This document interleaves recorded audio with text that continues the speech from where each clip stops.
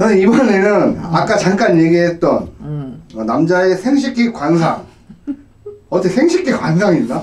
아, 있더라고. 네, 그거에 대해서 이야기 좀 해주세요. 내가 굉장히 뭐 교양 있으려고 좀 책을 많이 보고 책방도 자주 가고 이런 편인데 있더라고. 근데 내가 이거를 연구한 사람이 아니기 때문에 나도 봐야 돼. 내가 적어놨거든. 많이 보셨어요? 뭘 봐? 뭘 봐? 뭘 봐? 연애는 많이 해봤어요. 어. 근데 결혼하고 나서 뭐 이상한 걸 하거나 그런 적은 없어. 자, 남자 생식기 관사. 참 많어. 우선은, 또 자료 자료 준비까지 해놓으셨네. 아 당연하죠. 우선은, 머리. 남자의 그, 머리. 두 두 두. 어, 그치, 두. 어, 두. 자, 이게, 머리가 좀 큰 사람들. 큰 사람들은 자식과 인연이 조금 약해. 약하고, 이혼, 재혼 수가 있을 수 있다. 그리고, 끝이 좀 가느다래. 가느다란 사람은, 불구의 확률이 있다. 어떤 거? 끝이, 끝이 약간 가느다란 사람. 삼, 어, 산 모양도 약간 이렇게 돼 있잖아. 네. 끝이 점점 갈수록 가느다란 사람은 불구일 확률이 있다. 불구. 어, 불구. 어. 성적으로 좀 불구. 어, 어. 그럴 확률이 있을 수 있고, 이 또한 얇은 사람도 자식과 연이 약하고 연한을 당할 수가 있어. 그게 뭐예요? 연한, 여자. 네. 여자로 난제 끼는 거. 어. 어, 연한을 당할 수가 있다. 난 참 이거 이상하다.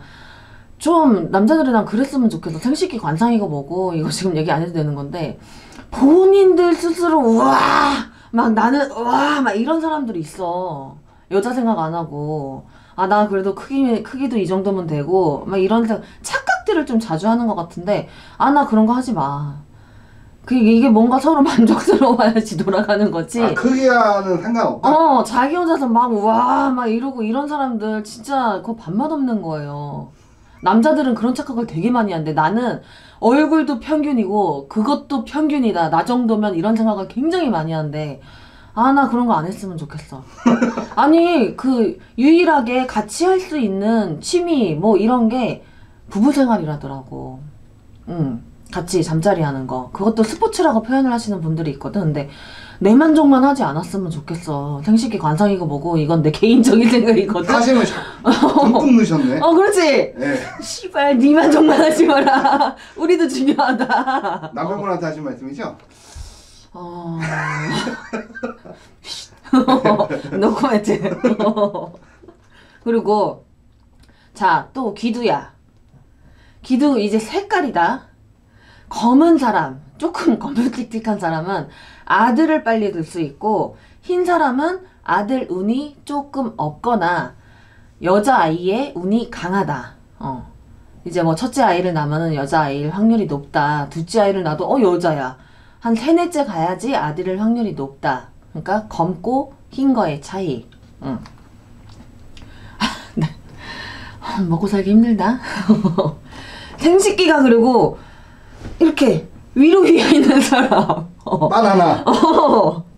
위로 휘어 있는 사람은 정력이 약하고 좀 소심할 수가 있다. 그리고 정액이 그런 사람들은 조금 센데 밖으로. 그래서 자손운이 약할 수 있다. 아, 이 연병하고 하고 있는데 내가 새는지 안 새는지 알바야 쓰레빠야. 어. 근데 위로 흰 사람들은 어, 조금 정액이 센다. 어, 자식운 갖고 싶으면 좀 자세를 바꿔보던가, 어, 그렇게 하셔야 돼. 위로 조금 내가 휘었다 하시는 분들. 그리고, 아래로 조금 휘어 있는 사람이 있대. 나는 아래로 휘어 있는 건 솔직히 잘 모르겠거든? 근데 아래로 흰 사람이 있대. 이런 사람들은 음기 자체가 굉장히 강해요. 그렇기 때문에 나의 인생에 있어서 어떤 일을 할 때도 발전이 조금 더디고 느리다. 라고 볼 수가 있어요.